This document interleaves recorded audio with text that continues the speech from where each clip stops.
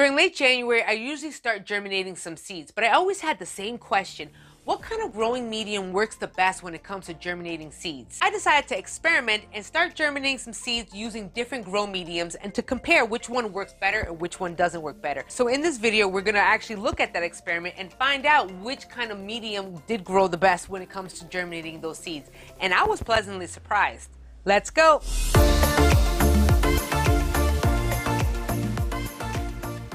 What's going on, my plant people? I am the ADHD gardener where I use gardening, houseplants, and humor as a form of mental health therapy, and welcome to my seed station.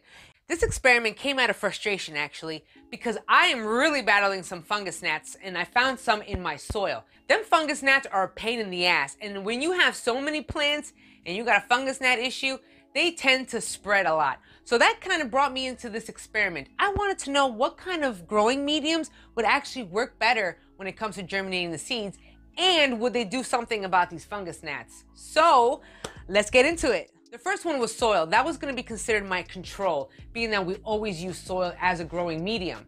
The second one was vermiculite, straight vermiculite by itself. The next one was something really unconventional. I just wanted to try it out to see if it worked. Was actually rock wool, but not the standard rock wool that's already shaped into a growing pot.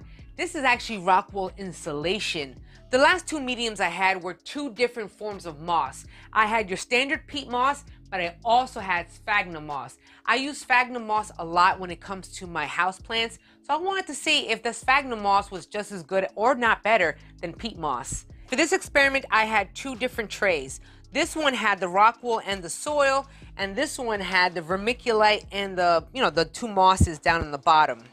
The first comparison was how well did it hold on to moisture? How well did it hold on to water? Right off the bat, that rock wool looked pretty good, but it also reminded me of fiberglass. So I didn't know if that was actually good for your lungs or not good for your lungs. It teared relatively easy and it was easy to fill into these square cells. However, my drawback when it comes to the rock wool is that it did not absorb moisture well. It took a long time for that rock wool to soak up that water. So I already knew off the back that was gonna be a problem. The second issue I had along with that rock wool insulation is that it did not stay wet at all. I constantly had to add water to this and all it did was just dry out. It dried out so much, I basically had to water it every day. And that was frankly too much work for me. So a lot of my seedlings actually died. If you can find a way to keep this rock wool moist at all times, then this is actually a viable option because I did have seedlings growing through this. However, they all died, being that this shit dried up really, really fast. It did work though, but wow, watering was a problem. Now keep in mind when you have these grow lights so close to the, you know, your mediums, this has a tendency of drying out your soil a lot faster. So this test of which one needed more watering than the other was really good to figure out. Now, when it comes to the soil and water, we already know how that works. We already know the standard soil and the water requirements. So that's just basically the control because we always use the soil as a standard. We also know the watering problems when it comes to soil retaining too much moisture, if you don't have enough drainage, so on and so forth. So that is pretty much self-explanatory. I don't really have to go into too much detail about the soil. The major drawback when it comes to using soil is those damn fungus gnats. Yo, I cannot avoid fungus gnats. I really did not see any fungus gnats with the vermiculite, the sphagnum moss, or the rock wool. I only saw fungus gnats when it came to the stupid soil. That is a turn off if I've ever seen one. I hated it, which is why I've been doing this experiment. Now, when it came to that vermiculite, oof. In the beginning, I was skeptical about it because of the way it looked. It looked very crumbly and it looked like it was not going to stay inside of these seed cells.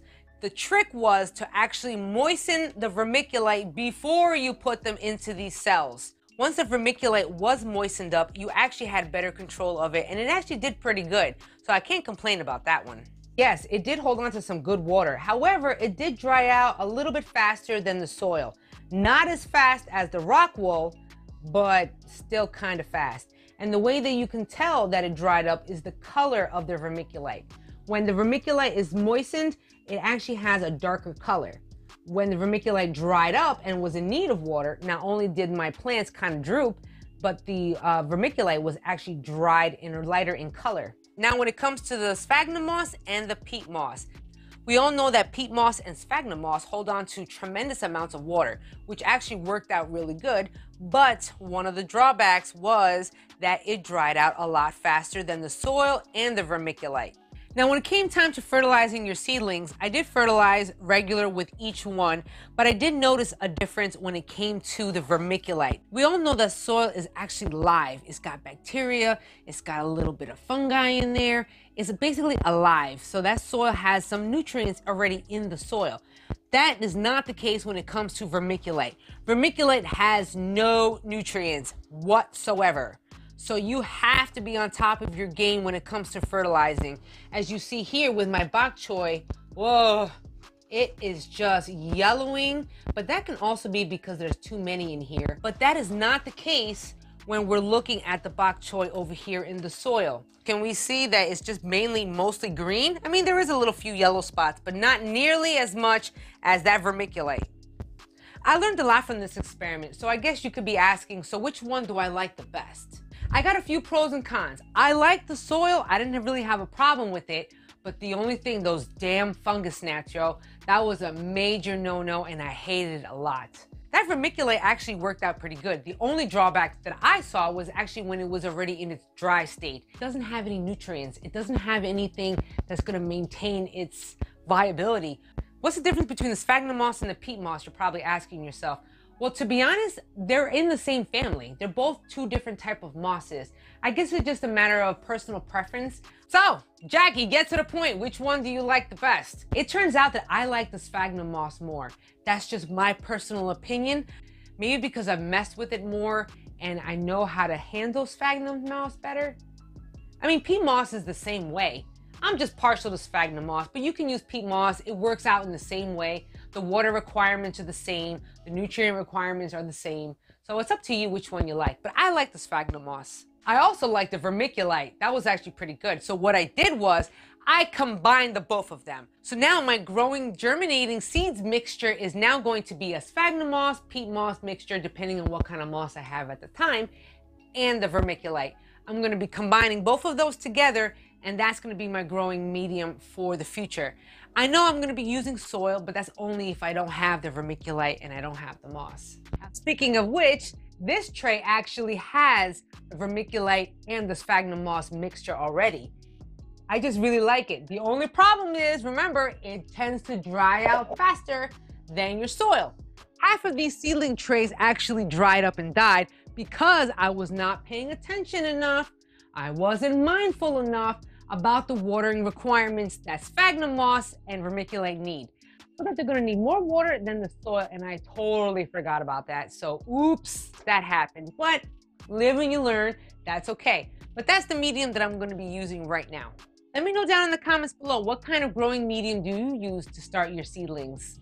I really hope you enjoyed this video and you got some good information out of it. And if you did enjoy this video and you want to show me some love, then don't forget to smash that like button. I really appreciate it. Also, if you haven't already, then consider subscribing. I drop a video every week and then some in between. And last but not least, you can catch me on Facebook and Instagram. I'm on there all the time. You can drop me a message. I post a lot of, you know, a lot of DIY projects, a little fun, a lot of funny memes, and a little bit on the personal side. So both of us are going to be growing our happiness one plant at a time, one day at a time. Until the next episode, you guys, peace and love.